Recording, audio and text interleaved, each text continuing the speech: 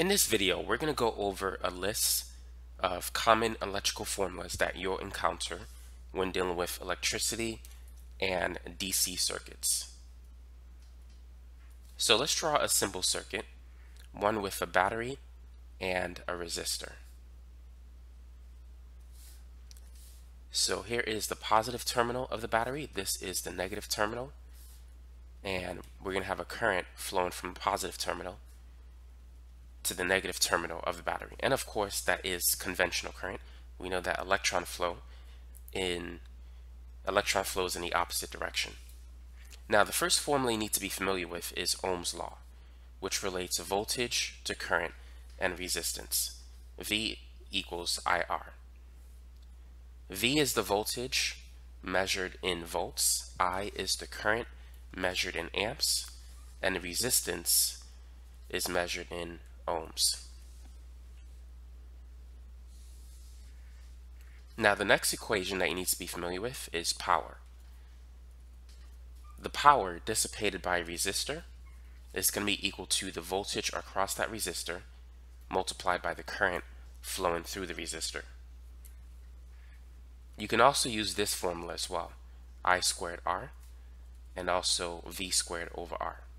So that's how you can calculate the power dissipated by a resistor or even the power delivered by a battery. You could use any one of those formulas to get the answer.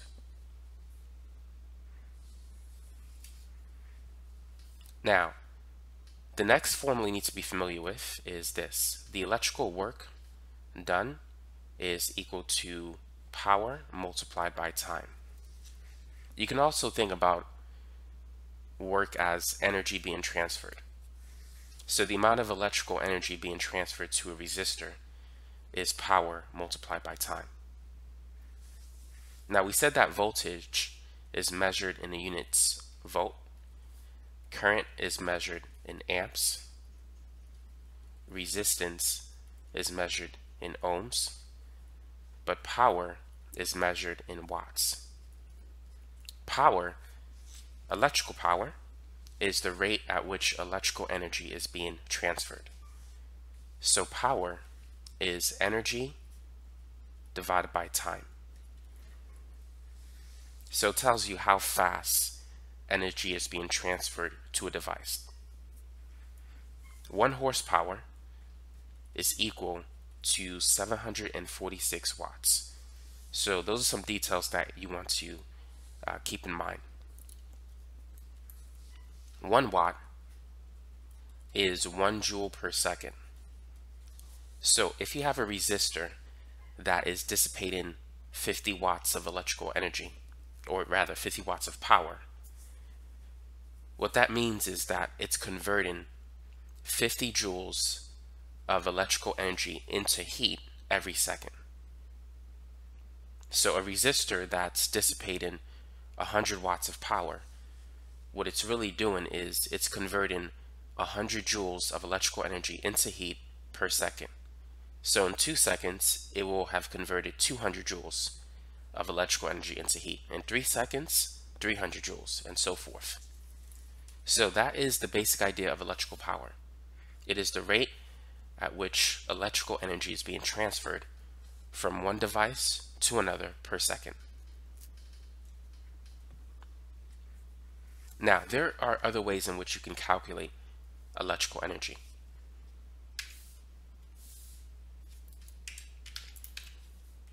So in addition to using this formula, electrical energy is equal to the charge that's being transferred times the voltage. Electric charge is equal to the current multiplied by the time, which means current is basically the rate at which charge is flowing per unit time. So what this means is that if you have a current, an electric current of 1 amp, what's really happening is that you have 1 coulomb of charge flowing through a, a circuit or through a wire per second. An electric current of 10 amps means that you have 10 coulombs of charge flowing through a wire every second. So electric current is the rate at which electric charge is flowing. And electric charge is basically the quantity of charges that you have in any given material.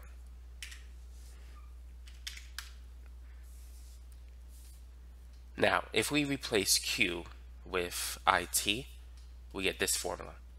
Electrical energy is equal to voltage multiplied by the current multiplied by the time.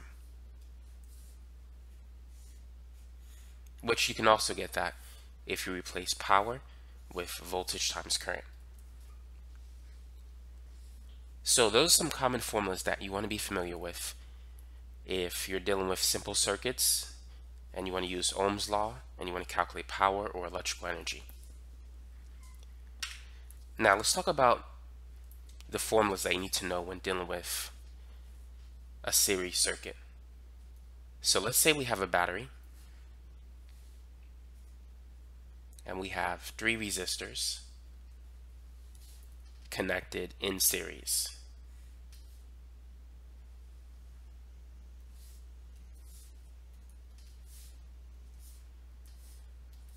So what we have here is the voltage of the battery. We'll call this resistor 1. This is going to be resistor 2 and resistor 3. Now, here are some things you need to know. When dealing with a series circuit, the current flowing from the battery, we'll call it IT, that current is the same current that's flowing through resistor 1. The current that flows through resistor 1 is called I1. And the current that flows through resistor 2 well, that current is called I2. The current flowing through resistor 3 is called I3. Now, in a series circuit, because there's only one path for the current to flow, the current is the same. I1, I2, I3, they're all equal to each other and they're equal to the current flown from the battery. The total resistance of three resistors in series, it's equal to the sum of those resistors. Now, as regards to voltage, if you want to calculate the voltage across resistor 1, it's equal to the current flowing through that resistor times the resistance. So back to Ohm's law, V equals IR. If you want to calculate the voltage drop across resistor 2, it's equal to I2 times R2. And V3 is going to be I3 times R3. Now the voltage of the battery is going to be equal to the sum of all the three voltage drops or the three voltages across the three resistors. So VB is going to be equal to V1 plus V2 plus V3. This has to do with Kirchhoff's voltage law, which states that the sum of all the voltages in a loop will add a zero. So if you were to move V1, V2, and V3 to the other side of the equation, you'll get this. Positive VB, the reason why it's positive because the battery adds energy to the circuit. And then minus V1, V2, V3. The reason why they're negative is because they subtract energy from the circuit. They absorb energy from it. So they decrease the voltage, whereas the battery increases the voltage of the circuit. So we have a positive for VB, but a negative for V1, V2, and V3. At least that's the way I like to think of it.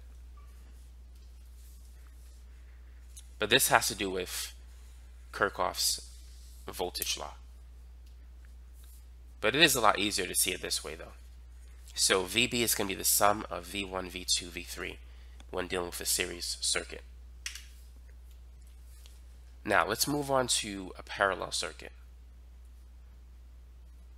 So we're going to have three resistors connected in parallel to each other, which means they're connected across from each other.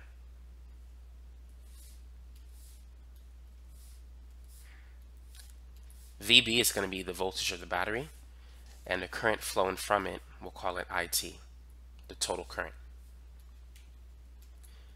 So in a series circuit, we had just one path for the current to flow. In a parallel circuit, there are multiple paths for the current to flow.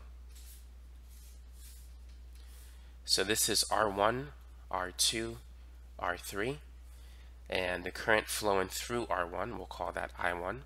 This is going to be I2 and I3.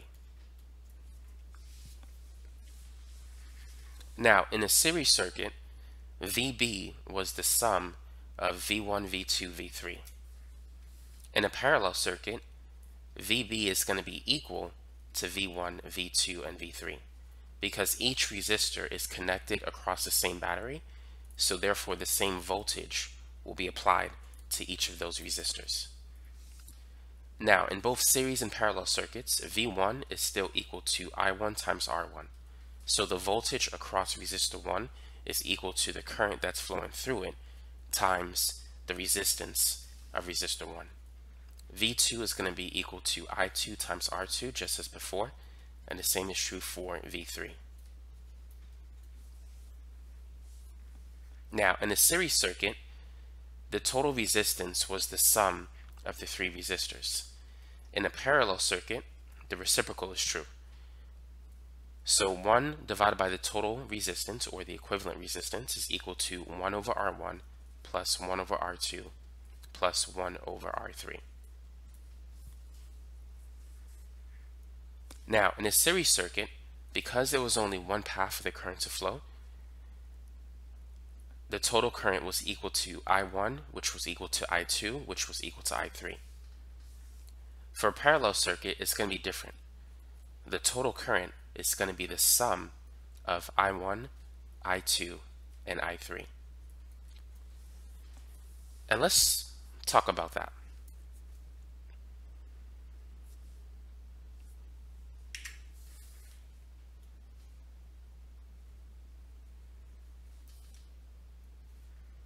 Because we talked about Kirchhoff's voltage law, it makes sense for us to talk about Kirchhoff's current law. So here we have the total current. And here it's going to break off into I1. And let's call this IB. Actually, let's call it IA.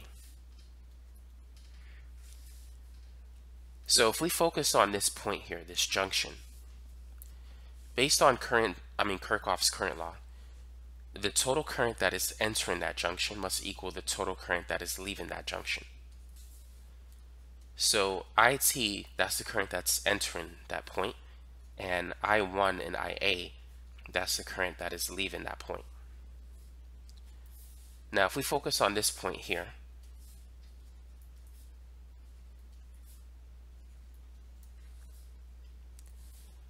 IA is flowing into that point, I2 is going towards resistor 2, and I3 goes towards resistor 3.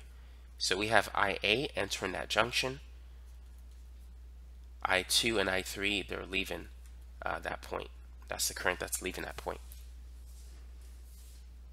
So if we replace IA with I2 and I3, we get that the total current is equal to I1 plus I2 plus I3.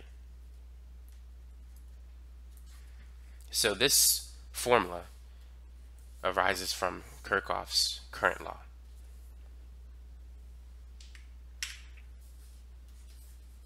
So let me give you another example.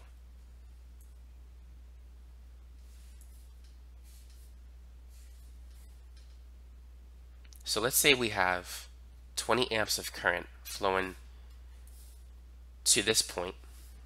We'll call it point A. And let's say we have 18 amps of current going here. We have 13 amps of current going this way. And we have 25 amps of current going that way. What is the current flowing in this branch?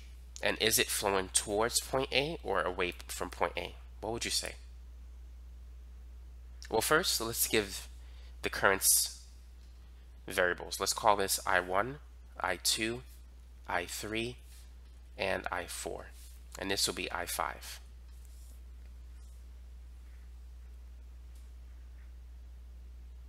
Now the sum of the currents entering and leaving that junction should be equal to zero, which is the same as saying the amount of currents entering that junction and the amount of currents leaving will be equal to each other.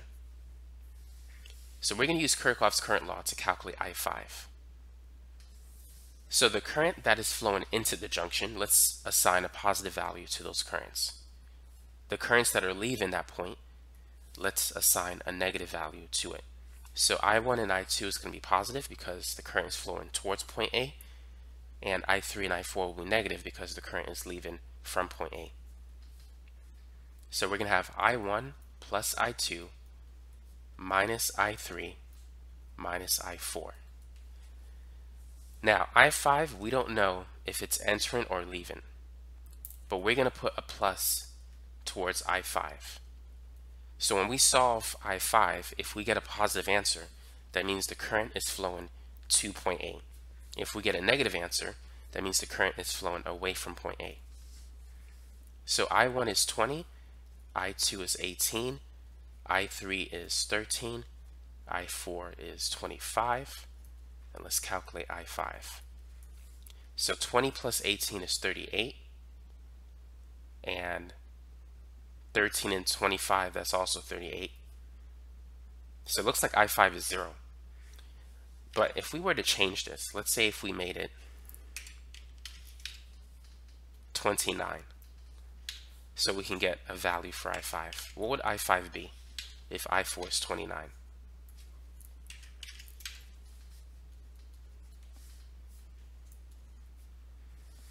Negative 13 minus 29, that's going to be negative 42. So this would be negative 4, which means I5 will be positive 4. So if I4 is 29 amps, I5 is going to be 4 amps. Because it's positive, current is flowing towards point A. Notice that if we were to add up these values, what this tells us is that we have 42 amps of current flowing to point A. And if we add up these values, we would have 42 amps of current flowing away from point A, which is how it should be. The amount of electrical current that is flowing to a point should equal the amount of current that is flowing away from that point. So that's the basic idea behind Kirchhoff's current law. So that's basically it for this video. Just want to give you a list of common electrical formulas that you'll use when solving DC circuits or when dealing with electricity in general. Thanks for watching. By the way, for those of you who want more example problems, feel free to check out the links in the description section below. I'm going to be posting more content as well as videos that are related to this video that you're currently watching. So feel free to take a look at that when you get a chance.